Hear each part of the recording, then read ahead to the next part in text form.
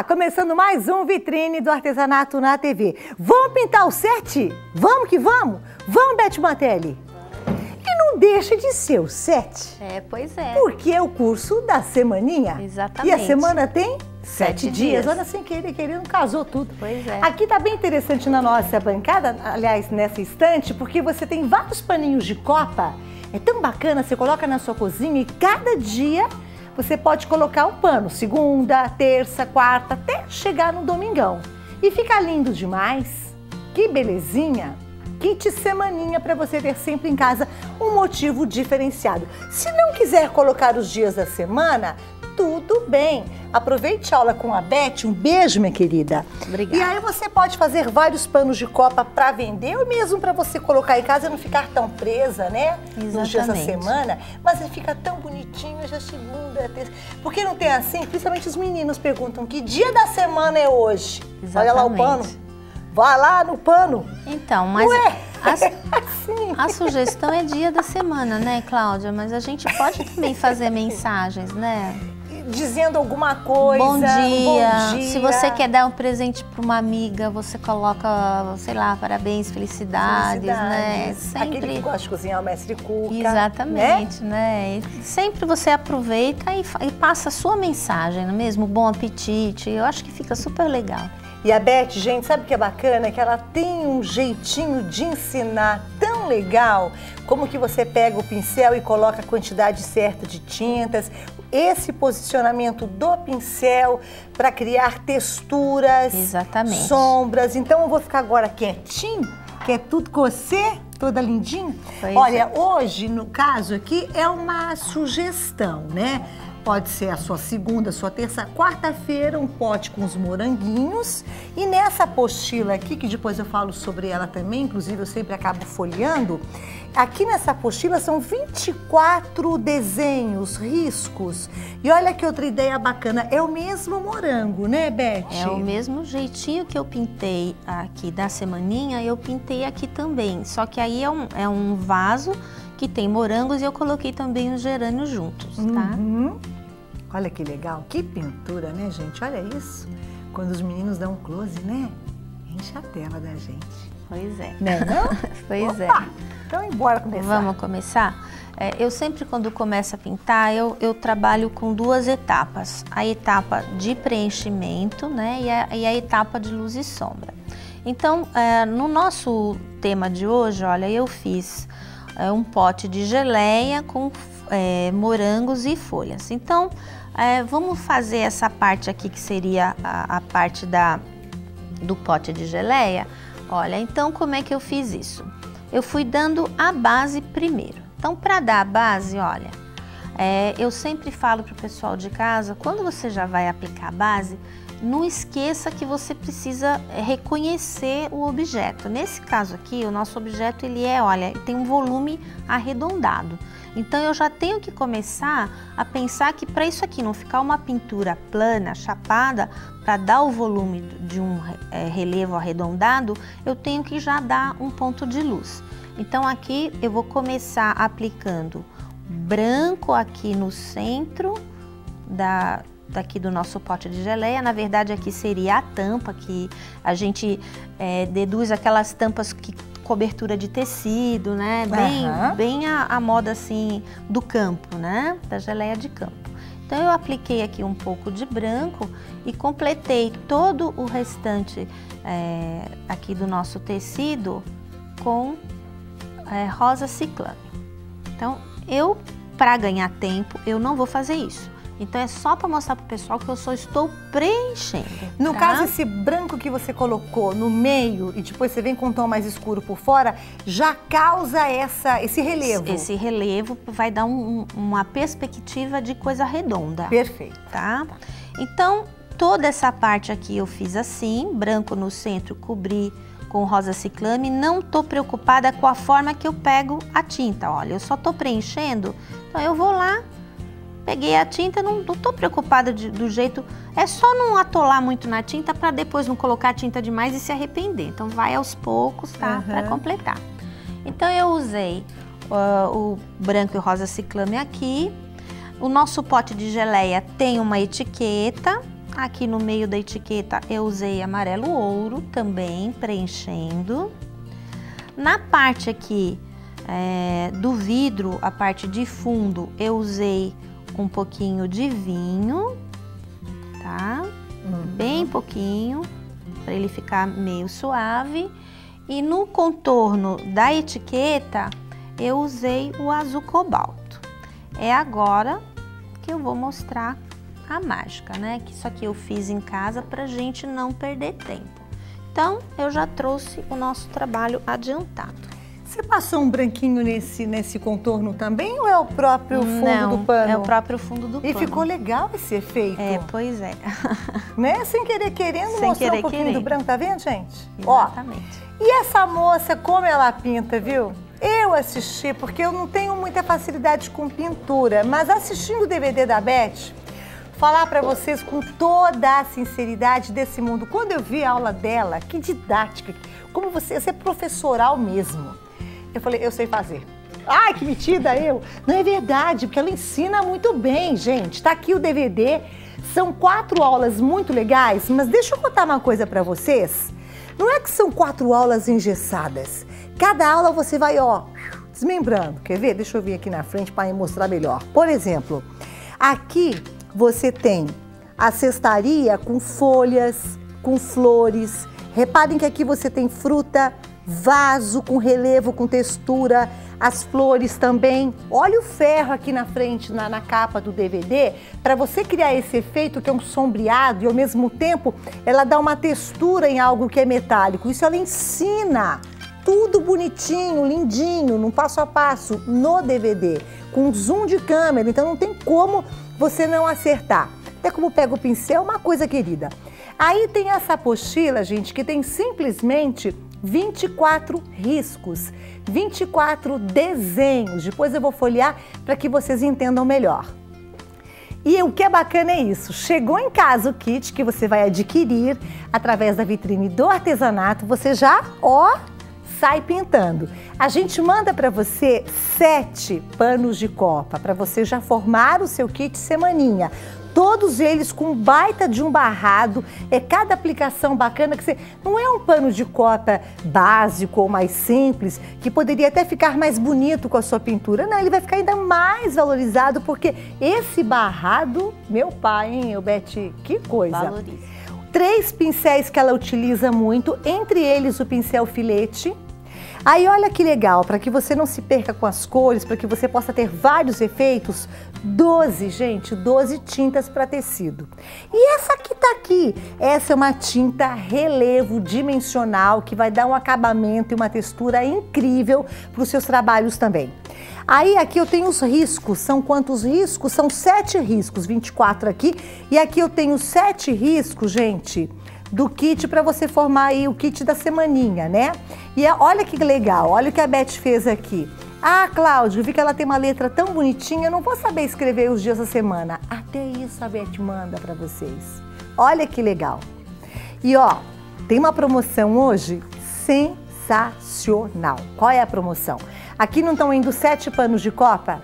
Quem ligar e comprar vai receber o dobro, mais sete panos de copa. Então vão chegar na casa de vocês 14 panos de copa. Se você quiser, sete você faz para sua casa, porque as pessoas sempre acabam indo na cozinha comer um bolinho, tomar um cafezinho, outras coisinhas.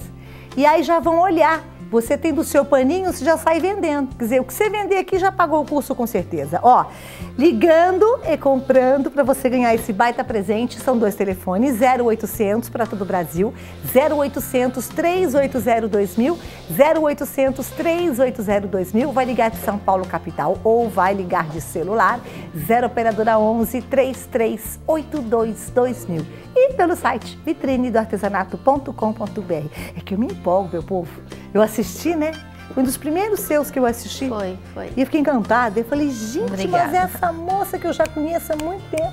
Bom, É, voltando para a sua aula, a gente tinha terminado de fazer esse contorno da, Isso, da etiquetinha, então, né? é, eu preenchi todo o fundo, né? Agora é importante o pessoal de casa ver como que eu pego a tinta, olha. Então, eu vou colocar aqui a tampinha bem fácil para o pessoal ver, porque para fazer o contorno aqui, eu vou pegar a tinta com a lateral do pincel. Peguei a tinta com a lateral do pincel, virei o excesso para cima e vou colocar o pincel na vertical. Por quê? Porque eu vou colocar o excesso de tinta bem sobre o risco. Então aqui agora eu peguei um rosa um pouquinho mais escuro. E olha, esse restinho que sobrou eu não vou dispensar. Eu viro ao contrário e venho esfumando, venho puxando para aquele ponto de luz branco Perfeito. que eu fiz. E eu fiz isso em volta de todo o nosso trabalho. Aonde eu havia preenchido com vinho, olha, eu, ele é um pote de geleia, né? Então você tem que mostrar umas manchas lá dentro. Então isso aqui não tem que ficar muito visível não. Porque se eu ficar desenhando cada moranguinho, não, você tem que ver que o vidro está embaçado. Então você só vai fazer umas manchinhas, olha, meio escondidinhas aqui e porque você vai somente fazer com que a pessoa insinuando, né? Exatamente, a palavra é bem essa mesmo, olha. Tá?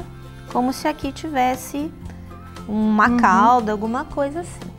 E depois, para dar um pouco de luz aqui no nosso vidro, nós vamos pegar o branco da mesma forma e vou contornar aqui o vidro com branco, ó.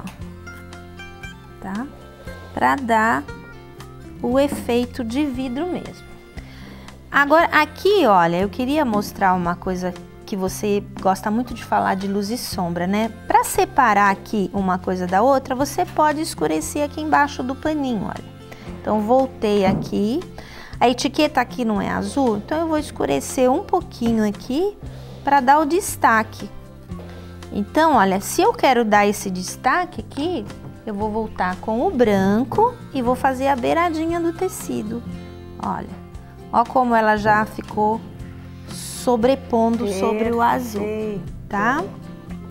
Então, é, feito isso, você vai terminar de preencher. No é, caso, o laço... é bem doido, do lado dela, dá a impressão que a abinha da tampa, que é um tecidinho, levantou e você tá vendo o fundinho dela. Exatamente. Não é isso? Então, com o mesmo azul, eu preenchi aqui a fita, preenchi o laço, com o branco eu coloquei na parte de cima da fita, que eu queria que ela ficasse mais claro, tá? Deixei a parte de baixo escura. O lacinho também eu fiz da mesma forma, preenchi com azul cobalto. Vim com o branco na parte de cima, puxando, e a parte de baixo eu deixei. E aqui no centro do lacinho, eu só dei um pontinho de luz para que ele levantasse, bem sutilmente, tá? Uhum. E com o cabo do pincel, eu fiz as bolinhas do tecido, ó. Vim aqui com o cabo do pincel e fiz cada bolinha do nosso tecido da geleia, tá? E aí, é só fazer os complementos. No próprio, na própria etiqueta tem dois morangos. Eu não vou ensinar aqui na, nessa aula, eh, Cláudia, a pintar esses morangos. Eu só vou falar as cores que eu usei, porque a forma de pintar é a mesma que eu vou ensinar daqui a pouco quando eu ensinar o vermelho e o verde, okay. tá? Então aqui eu usei branco no centro, rosa ciclame e vinho, tá? uhum. tá? Para que esses morangos da etiqueta se diferenciassem dos demais. Apareceu agora. Viu? Olha lá, olha, branco, rosa ciclame e vinho. E depois, quando eu for ensinar os morangos, eu vou explicar como é que eu fiz aquele também, tá bom? Eu não sei se a gente pode continuar aqui, se a gente tem tempo. Podemos? Podemos, né? Bom, então olha, uh, eu vou mostrar primeiro como que a gente faz um morango verde, tá? Então eu vou pegar branco, verde pistache e verde oliva. Então, na parte central dele que eu quero que ele fique com bastante luz, porque o morango ele é uma frutinha redondinha. Então, é a mesma técnica que eu usei lá em cima. Vou aplicar branco, o pincel tá um pouquinho sujinho aqui do azul, mas não vai interferir no resultado não. Aplico branco aqui no centro, pego o verde pistache e completo o morango. Olha. Então aqui eu não estou preocupada com a forma que eu peguei a tinta, eu só estou preenchendo. Uhum. Para preencher, olha, é ir ali e voltar com a tinta aqui. Não se preocupa muito com esse detalhe da, de pegar o pincel. Agora, para fazer o contorno é diferente. Agora nós temos que prestar atenção. Olha, então novamente eu vou pegar com a lateral do pincel, excesso para cima e venho fazendo o contorno com verde oliva, ó. Então, quando eu faço esse contorno aqui, olha, sem usar pincel filete aqui. O filete a gente só usa mesmo para detalhes e para coisas muito fininhas. Uhum. O que sobrou, eu venho puxando e venho esfumando para fazer aqui o nosso moranguinho, tá? Agora eu vou voltar no filete. Esse moranguinho, ele tem umas sementinhas. Então eu vou pegar o próprio verde oliva, ó, e vou fazer umas pintinhas. Aí você vai falar para mim assim: "Ah, mas o morango não é todo cheio de pintinhas?" É, mas na pintura a gente não, não enche ele todo, a gente deixa ele bem sutil, bem de leve. Então você escolhe as laterais para não ficar aquela coisa muito carregada, carregada né, Beth? Coloquei as pintinhas e vamos colocar os pontos de luz. E que sabe ensinar, que é uma coisa. Ô, gente, olha, para quem está interessado nessa aula aqui, a gente tem sempre uma amostra, embora seja uma excelente aula, porque as pessoas já estão aprendendo com certeza a pintar com você, né, Beth? Saiba que ela tem um DVD com quatro aulas incríveis, que eu até já mencionei agora há pouco. Cada aula acaba se desmembrando porque ela ensina vários elementos numa única aula, né? E nas quatro aulas, na verdade, com efeitos de luz, as sombras para criar texturas de cestaria e também metais. Basta ver a sombra linda que está no ferro de passar, que vai aparecer agora aí na capa do DVD. Aí, juntamente com o DVD, que é legal é isso. Aqui a gente tem uma apostila com 24 motivos motivos que foram criados com carinho para você de casa, inclusive com os desenhos que você também ensina no DVD. Como são 24, eu vou passar meio rapidinho. Olha, gente, que belezinha. A gente está falando muito de pano de copa, mas você pode de repente fazer numa camiseta. Exatamente. Fica lindo demais. Um toque numa toalhinha que você tem em casa. Gente, olha aqui. Olha esse campo de girassóis. Ô, Beth, a pessoa ficou até pensando, ela aprende, ela pode passar até para uma tela. A gente está falando de pintura, de pintura para tecido, mas... Esse daí pode mesmo. Não pode é uma, paisa é uma paisagem lá da Toscana paz. que eu pintei aí. Ai, que paz que transmite. Só podia Muito ser na Itália. Pois é. Belíssimo. É. oh, meu Deus do céu, eu fico viajando, né? Ó, uvas e bico de papagaio, papoulas e por aí afora, tá? Ó, igual ao ferro de passar, olha a pintura da Beth, olha a sombra que ela cria. Você olha para o objeto, você vê a textura dele. Gente, isso aqui é um trabalho de mestra, de quem sabe muito de pintura, só que é capaz de passar para vocês aí de casa de uma forma tão simples, um trabalho tão delicado, detalhista como esse, que todo mundo aprende. Muito legal. Vai receber sete panos de cota para que você já saia pintando. Os pincéis são três, inclusive o filete, 12 tintas para tecido, inclusive a tinta relevo dimensional e, ó, e os riscos, tá vendo que tem riscos ali? sete riscos para você fazer o kit da semaninha. E aproveitar também, não só para semaninha, você pode fazer numa bolsa de tecido, numa camiseta, num avental, e aí você vai criando. Agora hoje o que é bacana é isso. Para quem ligar e comprar, vai receber o dobro, o dobro de produtos de panos de copa. Ligou, mais sete panos de copa para você criar muitas peças lindas e sair vendendo por aí que você vai ganhar dinheiro com certeza. 0800 380 2000 para ligar e comprar. Esse é o telefone ligação gratuita para todo o Brasil, São Paulo capital ou celular 0 operadora 11 3382 2000 e o site vitrinedoartesanato.com.br. Eu me empolgo, sabe, gente? Perceberam, tá, né? Bom, então, olha, o nosso moranguinho tá quase pronto, né? Só falta ali aquelas folhinhas de cima do morango, tá? Então, eu vou preencher as folhinhas de cima com o verde oliva, olha. Agora eu já peguei um pincel menor, eu sempre falo, espaço grande, pincel grande, espaço pequeno, pincel, pincel pequeno. pequeno. né? E aí eu venho com o branco fazendo a luz, olha, da ponta da folhinha para o centro. Já aproveito o mesmo pincel, venho com o próprio verde oliva e já puxo aqui, olha, o cabinho do nosso morango. Então esse seria o morango verde.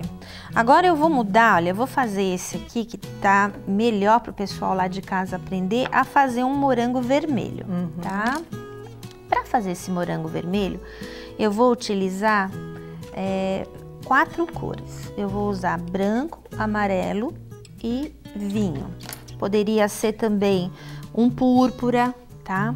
Então, bem próximo aqui da folhagem, olha, esse nosso morango ele é vermelho, mas ele aqui em cima tá meio verdinho. Então, eu vou entrar com o branco, ó. Adoro pintar morangos, viu, Cláudia? É? Das frutas é praticamente uma que você mais é, gosta? Ela não é uma frutinha assim, é, assim, que você bater o olho, você tem que ver a explicação, mas não é difícil. Então, coloquei branquinho próximo às folhas.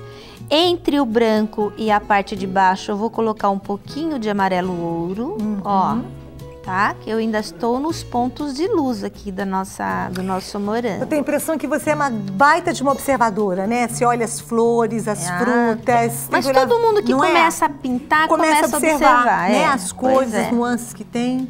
E aqui a parte de baixo eu entro com vermelho. Pode ser qualquer vermelho, tá? Pode ser vermelho fogo, vermelho vivo, pode ser um tom meio tangerina. Aí você vem puxando sobre o amarelo e sobre o branco. Então você vai dar uma cor.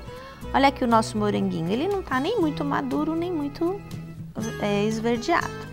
Agora eu vou trocar de pincel, vou pegar um pincel de tamanho médio, tá? E vou fazer o contorninho. Agora é o segredinho da tinta na lateral do pincel. E aí eu venho, olha, por que, que eu venho de baixo para cima? Porque aqui ele tem que ficar mais maduro, mais embaixo. Então, o excesso de vinho aqui embaixo, ó. Aí, quando eu venho puxando, olha, ele vai morrendo para que ele fique com um pouquinho a tinta lá em cima. Então, uhum. eu vim com uhum. excesso embaixo e vim puxando.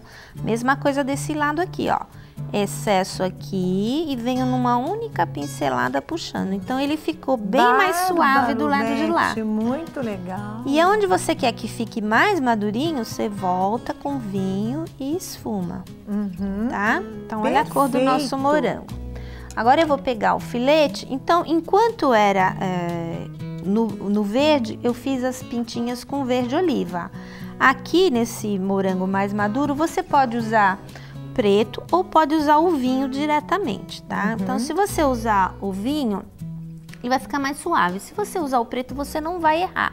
Só vai dar mais destaque na sua pintura, tá? Uhum. Porque na verdade eu não tô, não tô fazendo uma fotografia. Eu quero que o meu, meu produto fique vistoso, por isso que eu vou usar o preto. Se fosse uma fotografia, eu já usaria o, o vinho, tá? Hum, Só para explicar para o pessoal a diferença. Então aqui eu pego o preto, Faço aqui as pintinhas, sem exagerar, nos lados, ó. E um pouquinho de branco em cima, dando a luz do mesmo jeito que eu fiz lá no outro, tá? E aí, as folhinhas, do mesmo jeito que eu fiz no outro, como essas folhinhas, elas estão assim, que no verdinho, elas estão mais de lado, aqui elas estão mais vistas de cima. Então eu já fiz um pouquinho diferente. Eu preenchi com o verde pistache aqui. E depois é que eu entrei com a luz e com a sombra. Então, olha, preenchi com verde pistache. Novamente troquei de pincel, porque como eu vou fazer uma folhinha pequena, eu vou pegar o pincel menor. E aí eu venho fazendo a sombra com verde oliva, de baixo para cima, olha. A parte mais escura. Embaixo, né? Embaixo. E é bacana isso, quer dizer, a parte mais escura embaixo, conforme você vai puxando, ele já vai, vai clareando. Vai afinando vai a quantidade afinando, de né? tinta.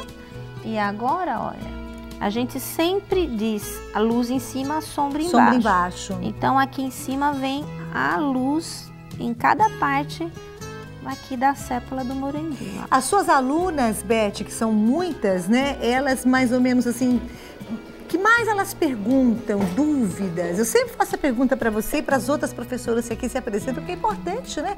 A gente saber quais são as dúvidas de você e de casa. Mas uh, geralmente na pintura é a luz e sombra, é onde elas têm mais dúvida mesmo, tá? E aqui, Cláudia, olha, com o filetinho e o sépia, eu vou puxar o cabo. Ele vai sair de bem no meio aqui da sépia, olha. Tá? E aí a gente já fez um moranguinho também, Uhum. tá bom? Eu não sei quanto a gente, tempo a gente tem, que eu Tiffany, queria fazer uma... Um minuto? Dois? Três, cinco minutos? Então vamos, Tô brincando, apavorar vamos ela. fazer uma folhinha aqui, olha. Para fazer essa folha, eu até... é, como a folhinha do morango ela é serrilhadinha, tá? Olha, eu já vou com, a mesma, com o mesmo pincel, eu já vou fazendo as nervuras e o serrilhado da folha, olha. Então, com o pincel de pé, eu vou pegar o verde pistache e venho da ponta da folha e venho puxando, olha. O excesso tá na ponta, na lateral e venho puxando pro centro, tá? Olha, o dedinho vai te dar firmeza. Então eu venho com verde claro aqui e com o verde claro aqui, da metade da folha para lá. Agora, o verde escuro, no caso aqui eu estou usando o verde oliva, eu venho fazendo ao contrário. Então, com o claro eu fiz assim e agora com o verde oliva eu venho na parte de baixo, ó. E ele já vai ficando naturalmente serrilhado e já vai mostrando as nervuras da folha do morango, porque ela é bastante cheia de nervuras. Espetáculo, né, gente? E daqui para lá, olha, movimento ao contrário se encontrando, olha. Então você viu que você não precisa nem preencher, você conforme você vai fazendo ah, os traços, você já vai chegando na cor da folha do morango toda serrilhada. gente. Olha aqui, Beth, fica olhando o monitor, ó. E para completar, Ai, que lindo! Efeito dos meninos, Tavinha e seus meninos. pois é, Então é uma banda, né? Tavinha e seus meninos. são ótimos mesmo. É verdade. Então, E agora aqui a nervura, olha, com sépia eu puxo com o filete e no caso está pronta a nossa folhinha. Quem quiser dar um pouco mais de luz, é só fazer na pontinha lá no verde claro um pouquinho de branco na ponta da folha. O que, que eu posso pedir pra você? Aplausos? Imagina. Que, Uma salva de palmas? que isso? Não é? Você que tá em casa, você tem vontade de sair do sofá e dar um beijo nela. Pois eu dou na hora de ir embora. Que vai ensinar bem assim na vitrine. Na vitrine. Oh, meu Deus é. do céu, você gostou? Fala a verdade, você não se apaixonou por essa aula, né? Um bálsamo para os olhos. Tá aqui o DVD com quatro aulas sensacionais. Lembrando que em cada aula você tem a possibilidade de aprender vários elementos. Tem, por exemplo, um vaso que tem uma fruta do lado, aí tem as flores. Então você vai se esbaldar com esse DVD no conforto da sua casa. Aí a gente tem também essa apostila que eu folhei agora há pouco com a Beth, onde tem cada paisagem, cada motivo bonito, de, tem de girassol, de flores, de frutas. Eu ficaria horas falando e mostrando, mas o tempo passa tão rapidinho. 24 desenhos para que você já possa aproveitá-los no tamanho que eles são e é só passar por uma blusinha, um aventalzinho, uma sacola, uma eco bag, um paninho de copa, enfim. Por falar em pano de copa, a gente vai mandar sete panos de copa para vocês já trabalhados, o barrado todo trabalhado no maior capricho. É só você fazer o seu desenho, a sua pintura, onde a Beth ensina super bem. Três pincéis, incluindo o filete. 12 tintas para tecido, atenção às cores, são as cores que ela usa inclusive a ensinar para ensinar a pintura no DVD.